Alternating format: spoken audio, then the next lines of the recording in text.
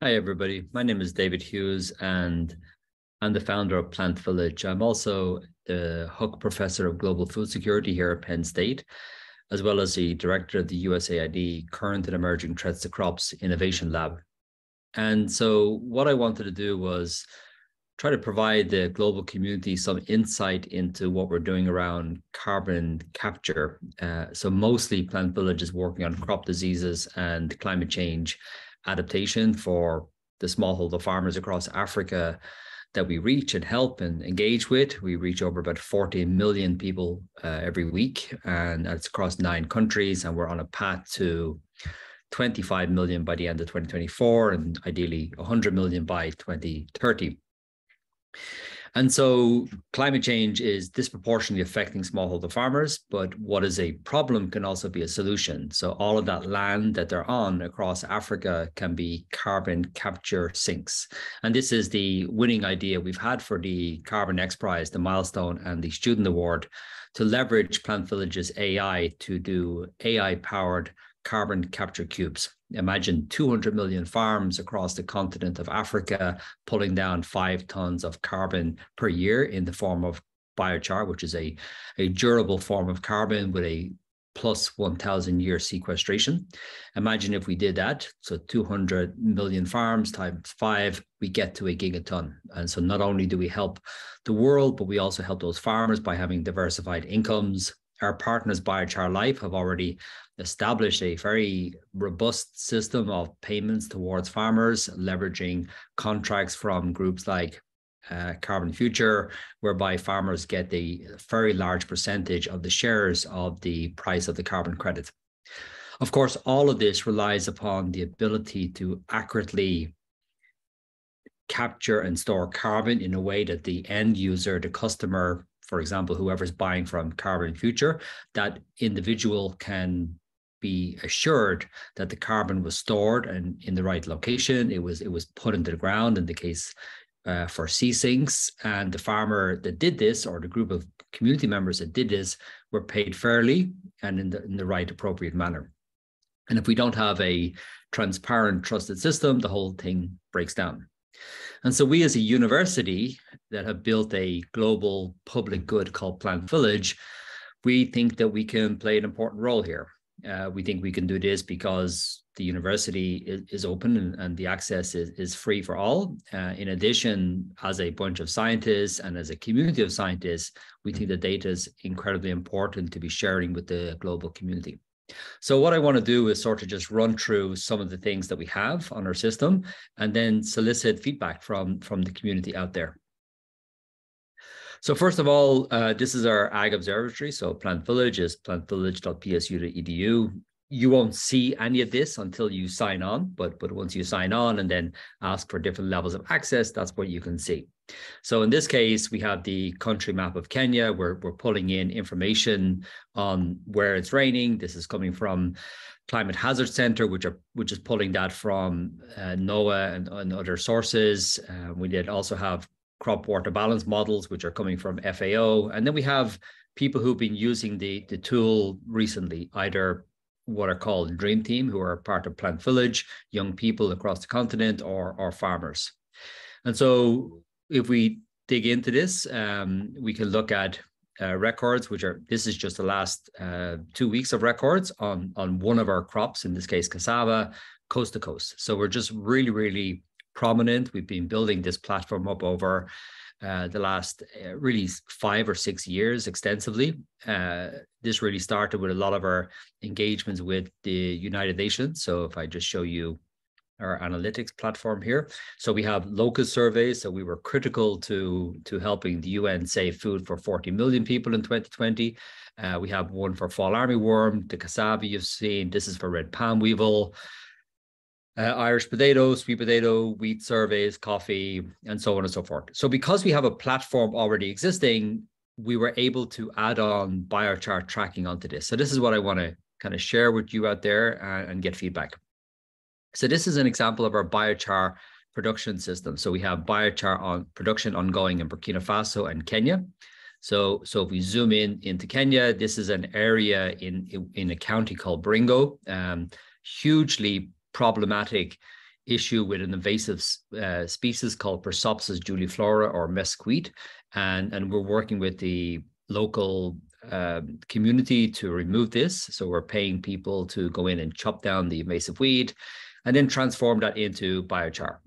So if I look at one that's verified, uh, so it's verified by me. There's others that are verified by. Uh, this is Om. She she works for Biochar Life. So there's a lot of people looking at this in real time, and, and this is a critically important element.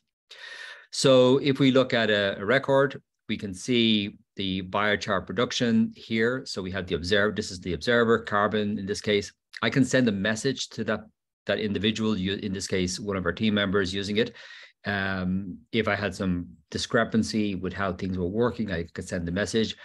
I can see the individual farm. Um, so, so I can see a variety of details about that farm. For example, the soil properties, the farm info, um, in this case, whatever was being grown, and we'll come back to that later on. So I can see the individual farm. I've got the farm location. I can copy this to a clipboard. I can put it elsewhere and um, I can I can look at the details on on the equipment. Um, so we have the active burn here. We have the in this case we use Kon-Tiki kilns. You can see the biomass in the background.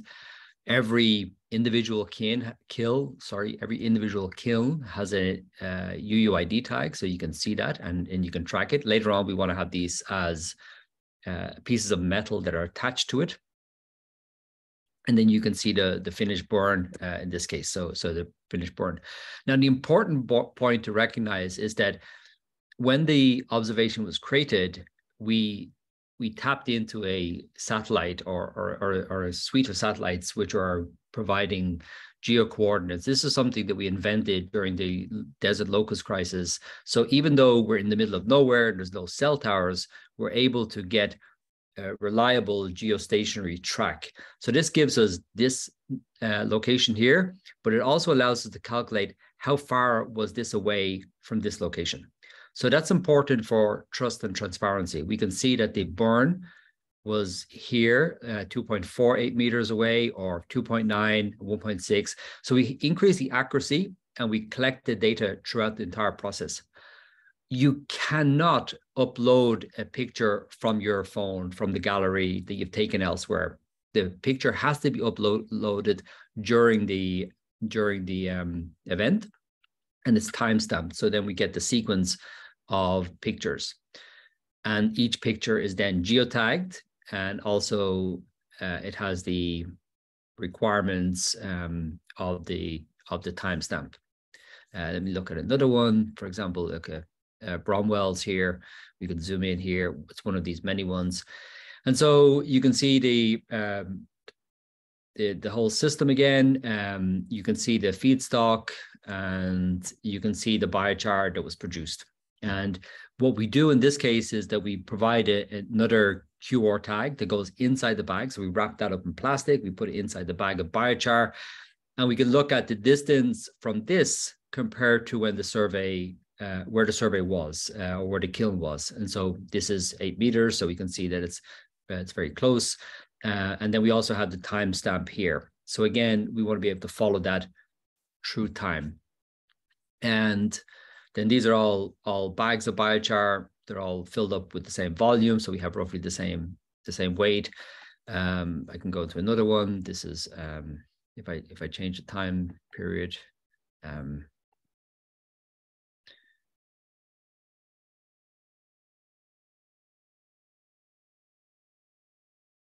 Now it's fetching more data. So I can look at something in Burkina Faso, for example. So here we have a different kiln, but the same process. We have the production. There's quite a lot of smoke coming off here. So, so in this case, we are advocating the people to dry out the material very well, so we can send a message to those people. Um, we also have WhatsApp channels where we can just um, in this case with Burkina Faso, we we would this is our channel in French with the team there. So we're constantly engaging with them in order to provide feedback on biochar. And I think I probably have to go back a little bit to find some of that feedback. Um, so this is tree planting, tree planting. Um, okay, still going back so I started now. I feel I have to finish. Um, but the important message is that it, it's totally transparent, totally open, and, and everybody can see the kind of advice that we're providing to them, and and what we're in this case there. This is some some work regarding the um, material that we're going to be using. So here we have, uh, yeah, so, so some advice here on this. And so we have this community engagement, working with local community members, working with the Plant Village Dream Team, providing that advice backwards and forwards. Okay, so back to our survey. Um, we we we produced the biochar, and um, here's Evelyn, one of our lead farmers. In this case, she's producing it from bagasse, a very different situation. So again, also communications with her, getting feedback from her. Um, then afterwards, when the biochar is made, then according to the European biochar certification system, uh, we have another step, which is mixing.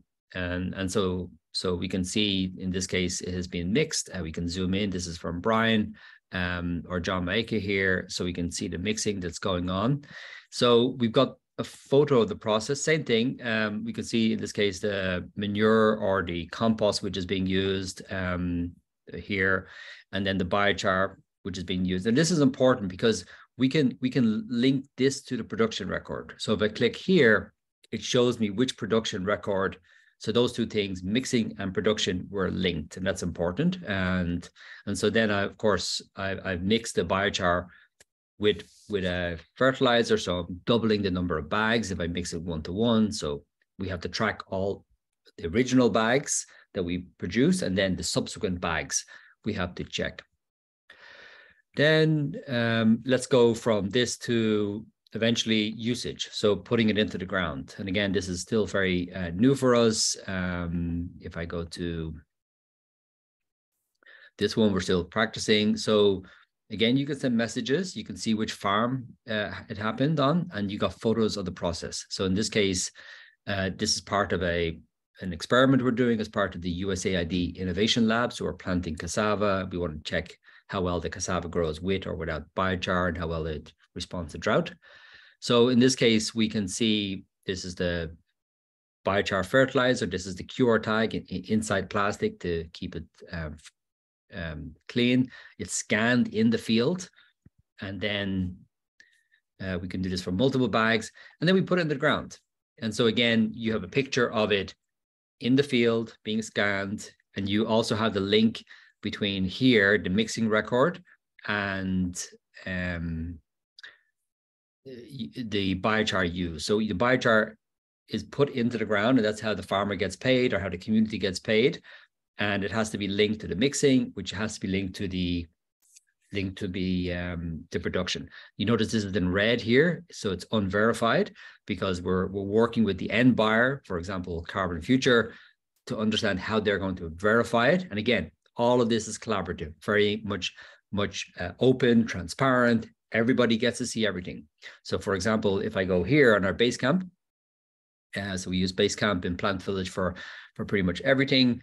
But if I look at, you know, Hans Peter, who's a, uh, an expert on, on biochar at the European Biochar Certification System, and he's just, you know, weighing in on questions that we have, providing um, input. Jason is the CEO of Biochar Life, and he's talking to an engineer here, Pavel, who's talking to Hans Peter, and everybody's just engaged. And all of this is, you know, everybody can see this. There's no, there's no secrets here. Uh, we're just asking for comments here uh, on, on different things, getting feedback from different people, and so on and so forth. So that's the WhatsApp, which allows us for feedback. So we have a, I can just show you something just from today from WhatsApp from the Artisan Pro. Um, again, I'm uh, asking somebody a question, Dries, for example, on our team who works with IITA. So, so we now talked about five different groups. We have Carbon for Good, um, uh, uh, which is the company that we formed. We have Plant Village, which is the public good, Biochar Life, which is also a company, the European Biochar Certification System, and also European Biochar uh, Certification System and Carbon Future. So when multiple people are looking at the data all the time and, and depend upon the data for whatever their not for profit or or private enterprise is doing, then this is a way in which we can ensure greater transparency and trust uh, simply by making it all available to the global public. So let me also go back and talk about how we can do this um, with the scientific community. So here's a farm that that we have, and this one um, uh, we can. Oh no, where is it going? It's over here.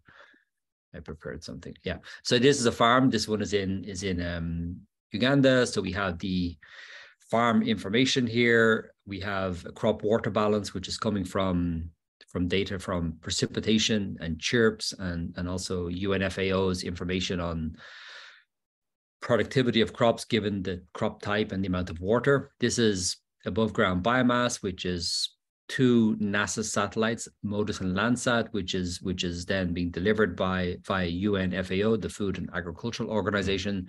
It's running a Penman-Monteith equation. And it shows how well things are growing or not growing. Uh, it flat lines here because we er, it's only updated every 15 days or so.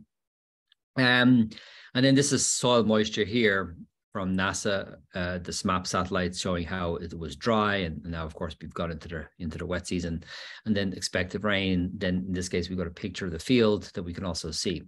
So I'm showing you all of this because what we at Plant Village have is an awful lot of data from the public sector on on conditions of soil chemistry, soil moisture, plant productivity, and and also a variety of statistical or machine learning models which allow us to understand what's happening into the future. And we want to we want to release this is already public, but we want to release all of this with the biochar data. So imagine this farm uh, in Uganda, imagine it captured and stored ultimately 20 tons of biochar over the next I don't know, five or 10 years. So, so let's imagine that's 30 tons of CO2 equivalent or 37 tons or whatever it's going to be.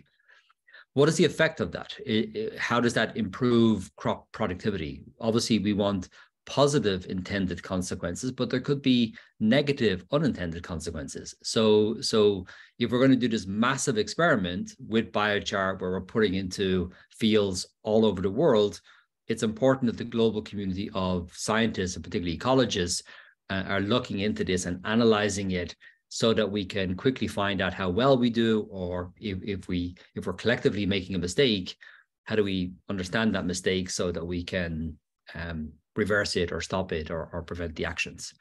So with that in mind one of the things that we've also done is to develop a, a front facing platform. Again very much work and development. Um, really really would love uh, feedback. Uh, derek moore who's who's uh, driving this would especially love feedback.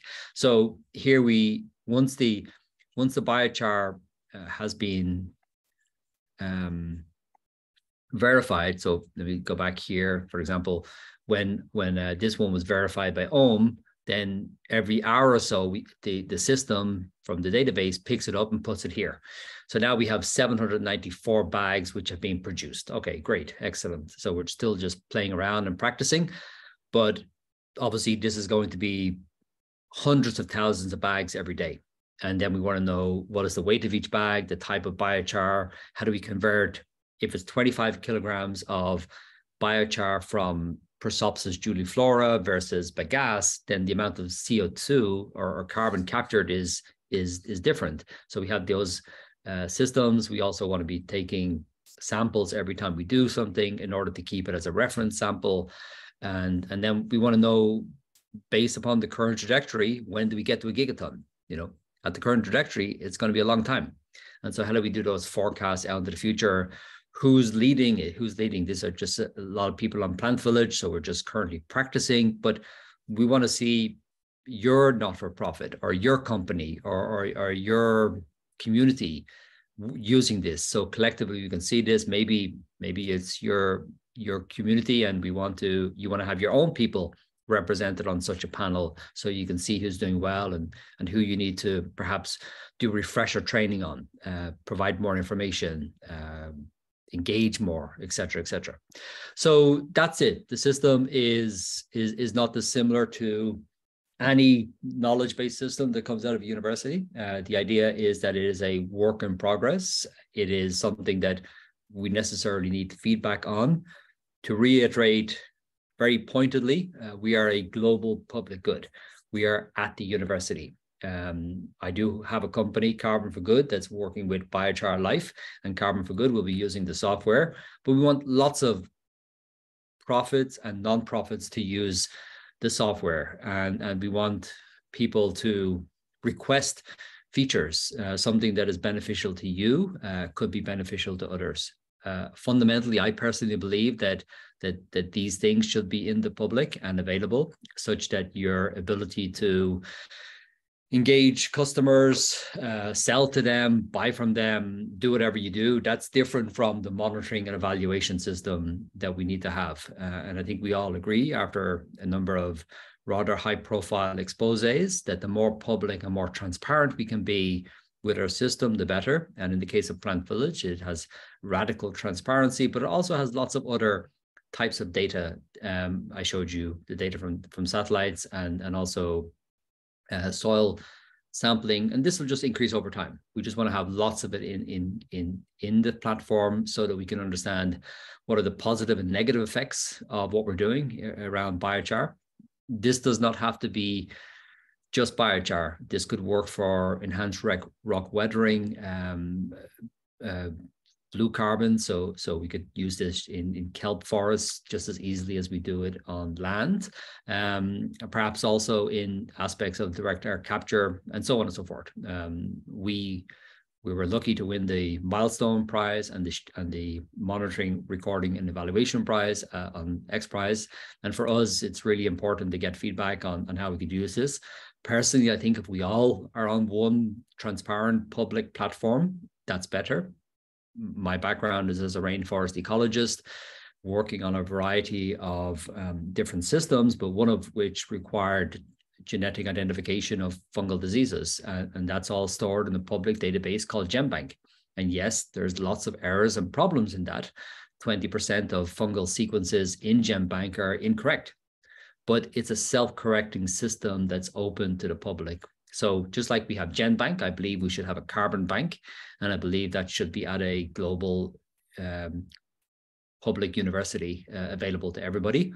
And I also think that we should use the, some of the profits that that come from the carbon markets to fund ongoing developers and work. You know, Plant Village has spent a lot of money on getting to where we are, and all of that is public money, and it's all for everybody but going forward we need we need much more investment. We need we need and we need sustainable models. Um, i don't believe these should be in the private sector. I believe they should be in the public. And i think that private sector funds from the carbon markets can help us uh, pay for those developers and and also uh, developers in the global south which i think will be very beneficial to have.